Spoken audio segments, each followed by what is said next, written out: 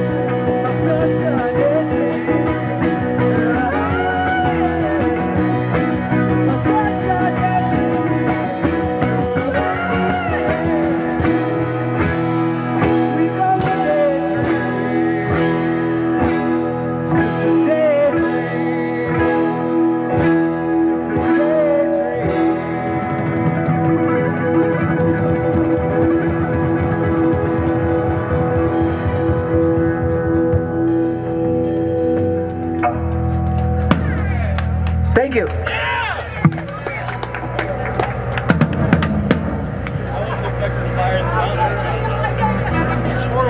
How are we for time?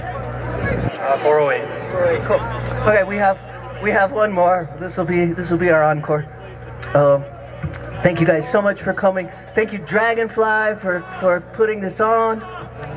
Thank you everyone for being here and dancing. Um, check out check out all the things, and I hope you'll come back. Um, One more. one more, one more. Okay, fine. Here, let's do this.